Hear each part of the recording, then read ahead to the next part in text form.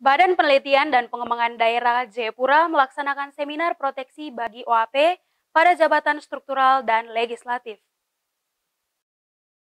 Melihat dinamika yang terjadi di Papua, memproteksi keberadaan OAP pada jabatan fungsional dan legislatif karena hasil pemilu yang sekarang baik itu dari Provinsi Papua dan beberapa kabupaten di tanah Papua hampir sebagian diisi non-OAP. Badan Penelitian dan Pengembangan Daerah Kabupaten Jayapura melaksanakan seminar yang dihadiri oleh tokoh adat, tokoh masyarakat, pejabat struktural, dan narasumber dari Kementerian Dalam Negeri. Kabit Sosial Pemerintahan Kabupaten Jayapura Albert Wambukomo mengatakan pada Undang-Undang Nomor 21 Pasal 8 Ayat 3 tentang pembentukan partai lokal sehingga OAP dapat terakomodir dalam legislatif.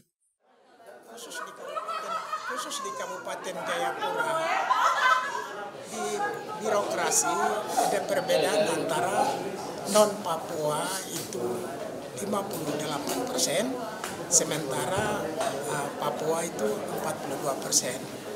Nah, terkait juga dengan di legislatif, pemilihan kemarin Papua itu hanya 9, sementara yang non Papua itu 17. Ini menjadi suatu permasalahan sehingga muncullah tim OAP.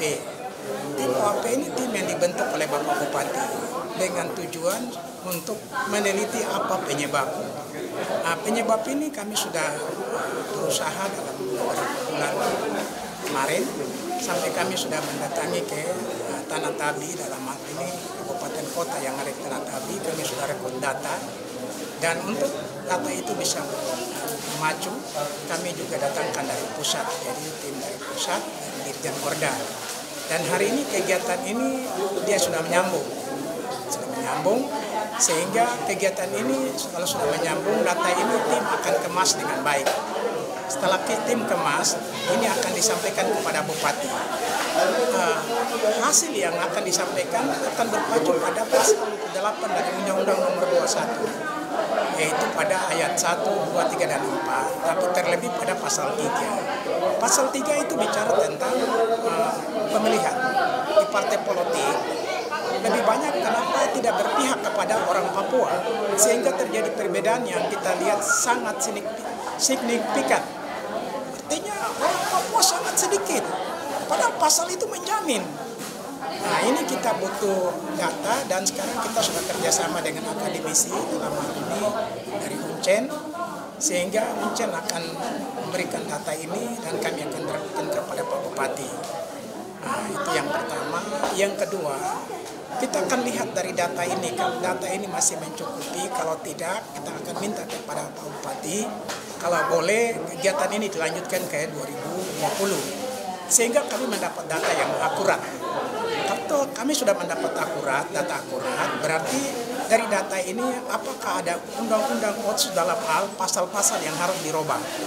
Dan ini kami harus kita kerjasama dengan MRP, DPRP, dan kita akan ke Jakarta untuk di, dibawa untuk ada pasal-pasal yang khusus untuk berpihakan pada orang Papua. Sehingga orang Papua itu dia harus jadi tuan di atas negerinya sendiri baik di birokrasi bahkan juga di legislatif. Ini sangat penting. Sebagaimana tadi kita sudah dengar tentang uh, tadi seminar tadi. Seminar tadi itu kita minta keberpihakan. Masa kita di atas tanah kita sendiri, kok kita jadi orang nomor dua, nomor tiga itu kan tidak bisa. Itu, itu hal yang pertama. Yang kedua, dari undang-undang otsus Kenapa di Provinsi Papua berlaku bahwa gubernur dan wakil gubernur orang Papua? Sementara di kabupaten kota itu tidak seperti itu. Ini permasalahan. Ya. Padahal kita sudah di penghujung daripada undang-undang otsus. Ya. Ini yang kita harus menjadi perhatian buat kita. Jadi kami sangat mengharapkan ini menjadi satu hal yang sangat dominan. Dari Sentani, Jadi Puraro Sentani TV melaporkan. Demikian info Kenambai Umbai hari ini. Dan sekaligus mengakhiri kitong perjumpaan, saya Flora Yansip yang mewakili seluruh tim yang bertugas, mohon pamit undur diri. Terima kasih atas perhatiannya. Kenambai Umbai, Rei Mai. Satu tu ceria berkarya meraih kejayaan. Selamat siang dan sampai jumpa.